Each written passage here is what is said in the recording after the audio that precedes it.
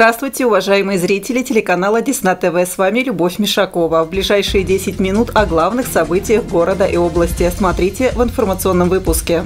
Мы выстроили для себя план реализации э, тех мероприятий, которые нужно выполнить. Совет руководителей предприятий подвел итоги работы за полугодие. Спасибо вам за интересный рассказ. Я еще больше утвердился в том, что хочу стать инженером-механиком. Социальный проект Росатома «Слава Созидателям» продолжается.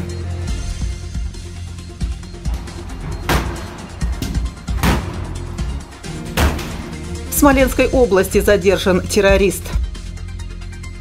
В программе состоится показ трех кинолент. В Десногорске пройдет акция «Ночь кино-2017». А теперь об этих и других событиях подробнее. 30 августа министр образования и науки Российской Федерации Ольга Васильева проведет общероссийское родительское собрание. Четвертое по счету, оно, как и в предыдущие годы, пройдет в формате видеоконференции с прямым включением из регионов России. Жители нашей области могут задать свой вопрос министру уже сейчас. На сайте Минобрнауки России для этого открыт специальный раздел «Общероссийское родительское собрание». Смоленской области создается единая система учета записей актов гражданского состояния. Новый закон позволит связать в единую сеть региональные базы данных ЗАГСов. Адаптированная система начнет работать с января 2018 года. Сейчас уже идет оцифровка документов, а их в регионе более 5 миллионов. Десять лет назад в Десногорске был создан Совет руководителей предприятий. В него вошли практически все организации нашего города. Он создан, чтобы совместно решать городские проблемы. Каждый год Совет ставит перед собой первоочередные задачи и неизменно решает их. Совет меняет состав, расширяется и продолжает плодотворно работать на благо Десногорска и его жителей. Об очередном собрании Совета руководителей наш следующий сюжет. 23 августа в ЦИСОНе Трина прошло очередное совещание руководителей предприятий и организаций Десногорска. На повестке дня было три вопроса. Глава муниципального образования Андрей Шубин доложил собравшимся о новом социальном проекте «Мой любимый город», запущенном в Десногорске по инициативе администрации и руководства Смоленской АЭС. Рассказал, как изучались проблемы города, проводились опросы жителей и составлялась дорожная карта реализации проекта. Андрей Николаевич призвал руководителей принять участие в проекте. Председатель горсовета Владимир Блохин доложил о ходе ремонта бассейна в первой школе. Смоленская атомная станция взяла на себя финансирование комплектующих деталей для коммуникаций. Остальные организации помогут провести монтажные работы. Третьим вопросом Совет подвел итоги работы за первое полугодие 2017 года. Председатель Совета, директор атомной станции Павел Лубенский поблагодарил руководителей, которые особенно активно принимали участие в решении городских проблем и вели шефскую работу. Участники определили план совместной работы на следующее полугодие. На данный момент, вот, ну, скажем, злободневная тема – это дороги на Кукуевку. Есть вот сейчас Смоленская атомная станция вместе с администрацией, то есть вот мы с главой администрации обошли практически весь город, изучили ситуацию по благоустройству, по обустройству, пообщали, ну, там, встречались с жителями, получали от них информацию и построили, выстроили для себя план реализации э, тех мероприятий, которые нужно выполнить для того, чтобы обращение граждан было правильным и обратная связь была положительной. Глава Андрей Шубин особенное внимание уделяет гражданской инициативе десногорцев. Возвращусь как бы к нашим садоводам Десна. А, была у меня целая делегация. И вот как раз вопрос их волновал по ремонту дороги на Кукуевку. Это первое, второе, третье поле. Потому что мы весной, когда с гражданами встречались, когда у нас был субботник, да, мы обязательства, как и Смоленская атомная станция, все, кто принимали участие, свои выполнили. И пообещали, что отремонтируем вам дорогу. В принципе, это, это уже как бы осуществилось. Только вот по срокам это произойдет конец сентября, ну, начало октября. Ну, потому что э, конкурсная процедура, ну, определенная, так сказать, мы это уже в рамках находимся, да, но это все осуществимо. То есть и вопрос э, по садоводам закроется. А если взять вот эти все, ну, так сказать, небольшие добрые дела, сложить воедино, как пазл, да, то получится определенная картинка. Вот, поэтому критика это хорошо, мы ее правильно и нормально воспринимаем, но хотелось бы, чтобы э, в той работе, в которой принимает э, участие муниципалитет или какие-то другие организации, да, вот, активно приняли участие наши горожане. Не просто не словом, а делом.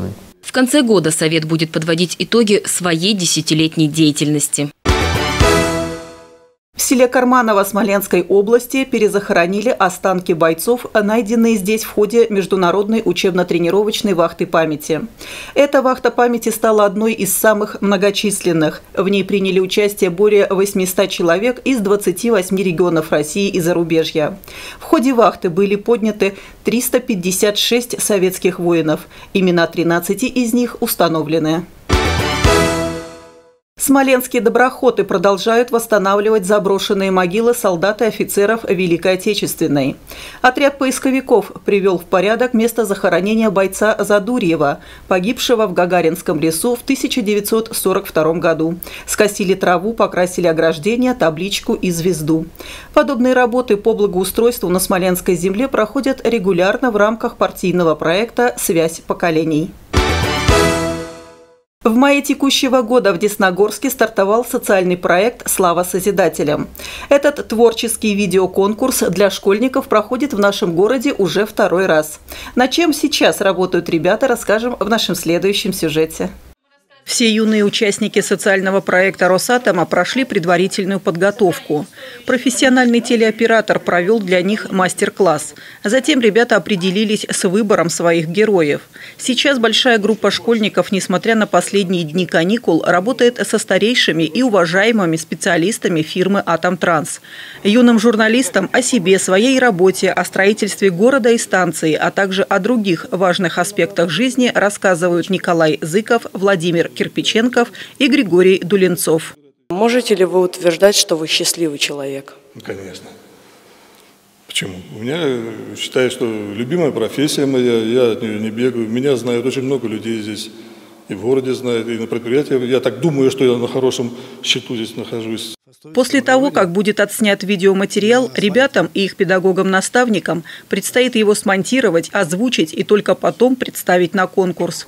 Все участники отлично понимают значимость этого проекта, ведь кто, как не они, смогут увековечить историю нашего города и станции, сохранив воспоминания тех, кто стоял у самых истоков. В Смоленской области прокуроры направили в суд 359 исков по ремонту и содержанию автодорог. Так прокурор Десногорска обратился в суд с иском к администрации Комитету по городскому хозяйству и промышленному комплексу о возложении обязанности провести ремонт асфальтового покрытия проезжей части автомобильной дороги в одном из микрорайонов города. Решением Десногорского городского суда исковые требования прокурора были удовлетворены. В Вязьме полицейские задержали уроженца одной из стран ближнего зарубежья, находившегося в международном розыске по подозрению в причастности к террористической деятельности. Подробности далее. В операции по его задержанию принимали участие оперативники региональных управлений ФСБ и МВД, а также силы Национальной гвардии. Столь большое внимание к этому молодому человеку обусловлено тем, что он находился на территории Российской Федерации с нарушением миграционного законодательства, а у себя на родине разыскивался правоохранительными органами за связь с международной террористической организацией. В настоящее время разыскиваемый задержан. Решается вопрос об его экстрадиции. На данный момент ведется следствие и устанавливаются преступные связи задержанного на территории нашего региона. В Смоленске появится памятник Николаю Проживальскому. По предварительной информации его установят в сквере у музыкального училища на улице Дзержинского. Главным инициатором была ныне покойная Нелли Крауклес, которая в 2013 году вот сюда в приемную партии пришла ко мне и обратилась с этим вопросом. Прежде мы решили провести круглый стол. Вот, пригласили людей, которые э, поднаторели в области географии, науки, тем, кому дорог э, наш Пржевальский. Я надеюсь, что это будет еще один э, такой объект, который будет э, в маршрутах наших э, туристов обязательно отмечен. Второй год подряд на Смоленщине будет проходить всероссийская акция «Ночь кино», организатором которой выступает Министерство культуры Российской Федерации. В этом году она приурочена ко Дню российского кинематографа и состоится 27 августа. На территории нашего региона для просмотра фильмов подготовлены 54 площадки во всех районах области. В Десногорске площадкой для показа кинолент станет городской центр досуга. В программе состоится показ трех кинолент. В 16.00 мультфильм «Снежная королева 3. Огонь и лед». В 18.00 время первых российский исторический фильм о первом выходе человека в космос. В 20.00 мы приглашаем ценителей комедийного сериала «Кухня» повстречаться с полюбившимися героями в фильме «Кухня. Последняя битва». Вход на сеансы свободный. Желаем всем приятного просмотра. Хлебать мой суп. Интересно, тебя одного расстреляют? Или всех сразу? Мы должны показать всем, что если мы не футбольная держава, то хотя бы кулинарная.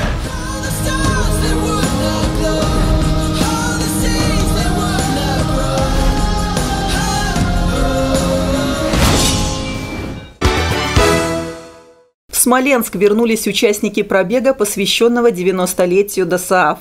Всего его участники преодолели 12 тысяч километров. В выходные они побывали в Смоленске, а затем отправились в Белоруссию. Завершился пробег в историко-культурном комплексе под Минском. Именно туда были доставлены капсулы с землей из всех городов-героев, через которые проходил маршрут.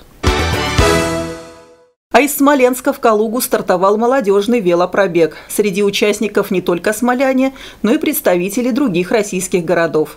Перед тем, как отправиться по маршруту, велосипедисты возложили цветы к вечному огню. За четыре дня молодые люди посетят около десятка городов, в том числе и Десногорск. И это все, о чем мы хотели рассказать вам сегодня. С этими и другими новостями вы можете ознакомиться на сайте нашего телеканала desna-tv.ru. Благодарю за внимание и желаю вам хороших выходных. До свидания.